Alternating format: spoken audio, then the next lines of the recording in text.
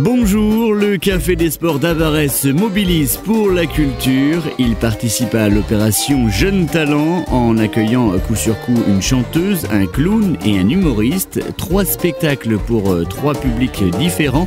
Pulseo était présent lors du concert de la jeune chanteuse lyrique Aurore Noyel. Spectacle joué en après-midi pour les retraités. J'ai des, personnes, on va dire, de la troisième jeunesse qui, euh, qui viennent jouer à la belote.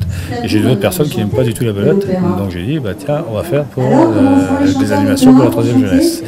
On a ciblé le, trois catégories de, euh, de public. L'après-midi, euh, les personnes âgées, le soir, le mardi soir en particulier, les enfants, puisque le mercredi il n'y a pas d'école, et le samedi soir ou le vendredi soir pour tout ce qu'on appelle tout public, adulte. C'est un, un, projet à long terme, dans un très bref avenir, qu'avec Michel, le propriétaire du bar, on aille euh, faire les maisons de retraite pour euh, expliquer notre, euh, notre projet et afin de faire venir les maisons de retraite directement là. Il y avait un fauteuil en plus, mais il était rempli de puces. Félicien aussi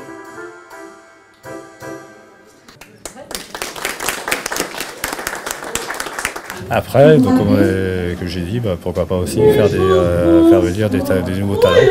Bah, ça permet déjà d'être plus convivial et d'être de pouvoir chanter plus facilement ensemble, euh, parler euh, le public, c'est plus facile aussi. On va lancer une, opération, c'est-à-dire qu'on va donner la possibilité à tous les jeunes, qui soient d'Abaret ou de la région, tous ceux qui ont un projet, euh, soit de monter sur scène en tant qu'humoriste, soit ceux qui veulent faire de la peinture, tout, ce qui est, dans le domaine de la culture, de venir au Café des Sports.